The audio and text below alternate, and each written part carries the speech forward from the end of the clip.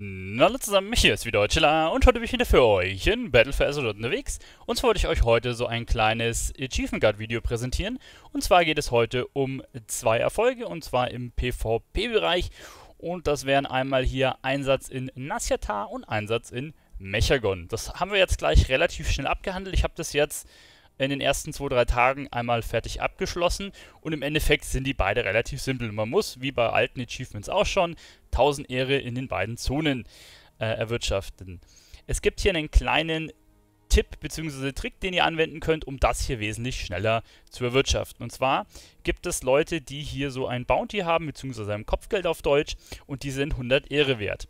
In den alten Erfolgen haben diese 100 Ehre nicht in das Achievement gezählt, also in Voldum, in Nasmir, in Sturm, Sang, Dingster, Bumster. Also sprich, da haben, hat das nicht dazu gezählt. Blizzard hat das irgendwie geändert. Ich habe jetzt einfach nur ein paar Leute gejagt, die dieses Kopfgeld drauf haben.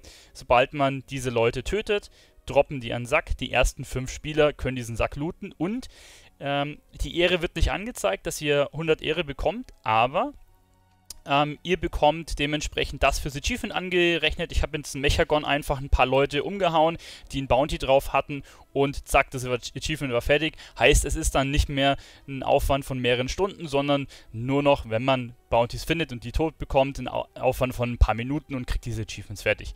Heißt, geht wesentlich zügiger als bei den alten. Und ich weiß nicht, vielleicht haben sie es bei den anderen alten Achievements auch geändert. Da könnt ihr mal gucken, falls dem einen oder anderen das noch fehlt. Ja, das war es eigentlich auch schon wieder. Ähm, mehr ist es eigentlich nicht. Ich wollte jetzt bloß diesen kleinen Tipp mit euch teilen, bevor ihr hier fünf Stunden lang irgendwelche Gegner umschnetzelt und dann ewig an dem Achievement dran seid. Da kann man es so ein bisschen schneller machen. Gut, das war's, euer Tila. Bis zum nächsten Mal. Äh, ciao.